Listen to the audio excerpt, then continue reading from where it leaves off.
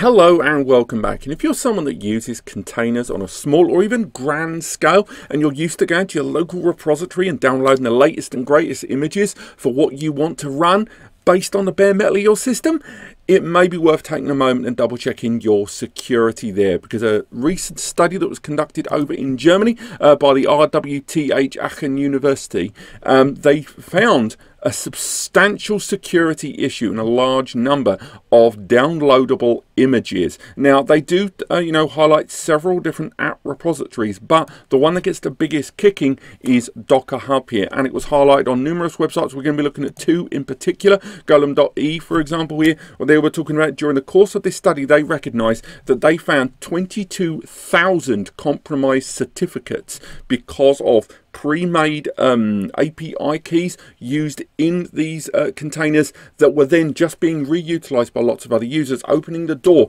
to a large, very wide surface attack vector being made possible. Now, this study covered more than 330,000 Docker images, and in that, as you can see from the report here from Bleeping Computer, they found uh, that specific secrets revealed 52,000 valid private keys and just over 3,000 distinct API secrets in 28,000 of those Docker images. To give that a little bit of perspective, we can see that uh, researchers identified a total of over a quarter of a million hosts were using compromised keys. Now this is enormous because what you've got here is if you've got the ability for let's say an attacker, attack vector user, that is a large spread number of locked doors that have all got the same key.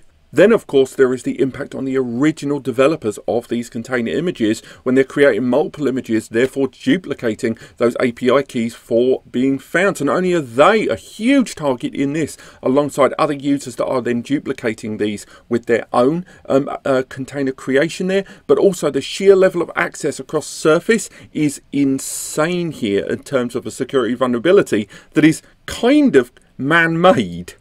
Now, the extent of impact and the possible attack vector was also outlined in the Bleeping Computer article. And again, all of this is linked below. So when the researchers did look into the use of these exposed keys, they highlighted that 22,000 compromised certificates relying on that exposed private keys inside those containers were found. So that was 22,000 potential targets right there. And then they go into a lot more detail about the nature and the severity across different utilizations and databases of those usage keys. Now, why did this happen? Well, when most users create containers and then you download them and then deploy them in your own container environment, a lot of the time you're using preset builds. Again, when you look at the creation of uh, most containers, you can see it's a fairly, you know, step-by-step -step process. Very few users these days, due to the ease of things like Portainer and particularly Unraid as well, making uh, container deployment so user-friendly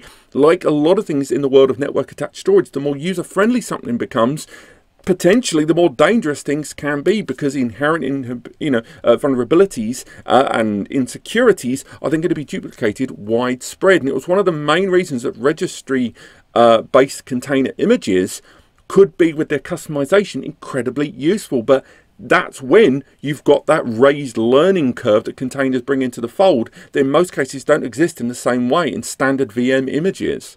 The survey even breaks down into where those specific vulnerabilities in API secrets and keys were found, and they break down into a substantial amount of detail. I mean, fair play, this is an incredibly detailed report going through exa exactly how they found it and the potential dangers moving forward. And again, if you want to read through this or use your local homegrown API to break this down for you, go for it. But the ultimate takeaway at the moment is that when you are downloading images from registries, and again, we're not going to, you know, rag on Docker Hub too much here because they are one of the biggest out there. So, of course, if they're going to be the biggest, they're obviously going to be one of the biggest target in terms of numeracy and frequency. But still, nonetheless, make sure you keep rigorously on top of your security protocol and particularly with the generation of those keys within these make sure you don't give too much power to these containers if you're not going to have the relevant skill set in order to modify and establish your own keys there throughout I cannot stress that enough. If you're going to be installing Dockers on your local NAS system where there's sensitive data,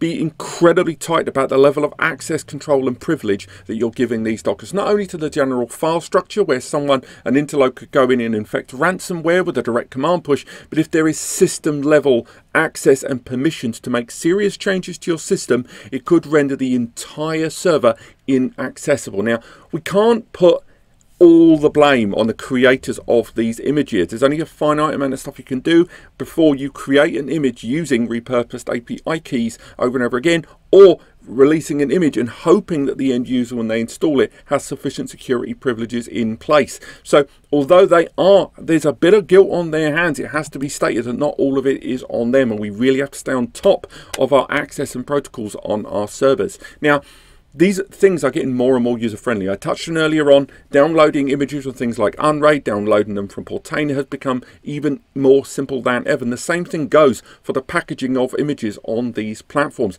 But that doesn't mean you can take the foot off the gas in terms of security or be overly reliant on the OS that your NAS is built on, be it turnkey or open source.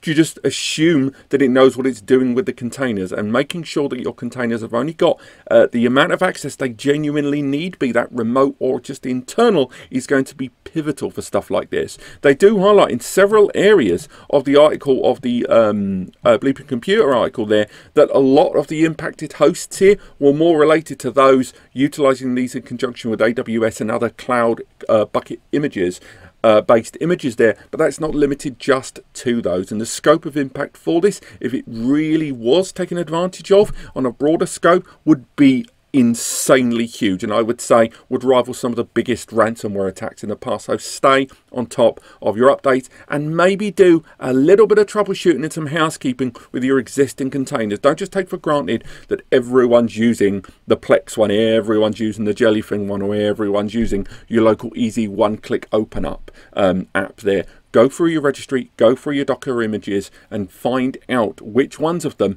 have got too much access. Thank you so much for watching. I'm sorry for such a miserable video. I hope someone finds this helpful. Again, we'll be putting together a little bit more of an article on this, but fair play. The big articles to read on this one for the most information is obviously that report um, here put together with that study that was shown to us earlier on from RWTH Aachen University, but also the Golem.de and the Bleeping Computer article, which have really gone into a phenomenal amount of detail and to make this just a little bit more user friendly to comprehend. Thank you so much for watching, and I'll see you next time.